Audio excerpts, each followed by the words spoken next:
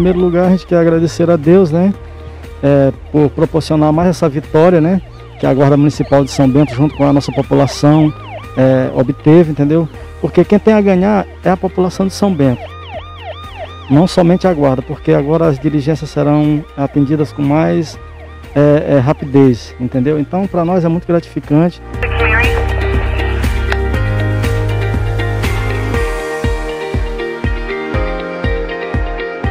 É, é uma aquisição muito importante né, para a segurança pública da nossa cidade, para os nossos munícipes, que é, é, é, essa, essa aquisição ela vai acabar refletindo aí na, na, na, melhoria da nossa prestação de serviço. Né? Um equipamento aqui de, de excelência, com diversos equipamentos que vão acabar refletindo e contribuindo para a melhoria da nossa segurança pública aqui.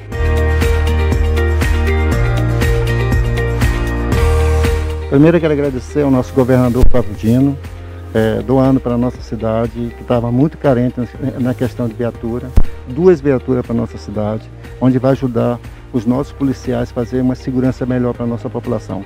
Foi um pedido nosso para o governador e quero agradecer em nome de São Bento, em nome da comunidade de São Bento, ao nosso governador Flávio Dino. E eu tenho certeza que a, a partir de amanhã o nosso serviço vai melhorar muito em relação à segurança.